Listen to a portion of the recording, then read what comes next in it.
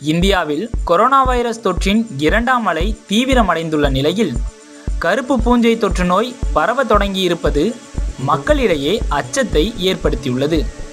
நாடு முழுவதும் கொரோனாவின் இரண்டாம் அலை மிக தீவிரமடைந்து வரும் நிலையில் நாளுக்கு நாள் பாதிப்புகளும் உயிரிழப்புகளும் அதிகரித்து கொண்டேதான் இருக்கிறது.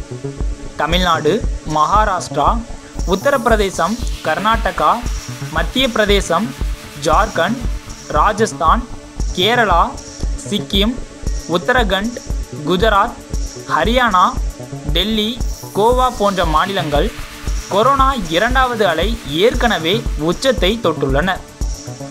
இதேபோல் வடகிழக்கு மாநிலங்கள் இமாச்சல் பிரதேசம் பஞ்சாப் ஆகிய மாநிலங்களிலும் விரைவில் இரண்டாவது அலை உச்சத்தை தொடும் என மத்திய அரசின் வல்லுநர் குழு அறிவித்துள்ளது.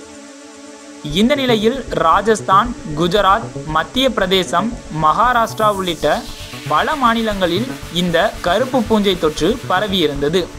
தற்போது இந்த தொற்று நோய் தமிழகத்திலும் பரவ தொடங்கியுள்ளது. தமிழகத்தில் கொரோனாவில் இருந்து மீண்ட நோயாளிகளுக்கு கருப்பு பூஞ்சையின் பாதிப்பு பரவத் தொடங்கியுள்ளது. அந்த வகையில் மதுரையில் கொரோனாவில் இருந்து மீண்ட இருபது பேருக்கு இந்த கருப்பு பூஞ்சை தொற்று இருப்பது உறுதி செய்யப்பட்டுள்ளது. பாதிக்கப்பட்டவர்கள் மதுரை அரசு மருத்துவமனையில் சிகிச்சை பெற்று பலர் குணமடைந்து விட்டதாக மருத்துவமனை நிர்வாகம் சார்பில் தெரிவிக்கப்பட்டுள்ளது. இதேபோல் சேலம் அரசு மருத்துவமனையில் இரண்டு பேர் கருப்பு பூஞ்சை தொற்று நோயால் சிகிச்சைக்காக அனுமதிக்கப்பட்டிருப்பதாக தகவல் வெளியாகியுள்ளது.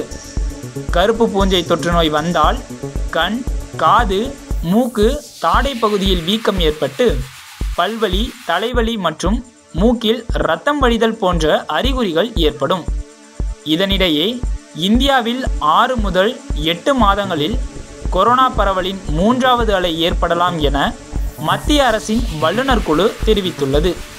இருப்பினும் பெரும்பாலானோருக்கு தடுப்பூசி செலுத்தப்பட்டிருக்கும் என்பதால் பாதிப்பு பெரிய அளவில் இருக்காது எனவும் அந்த குழு குறிப்பிட்டுள்ளது.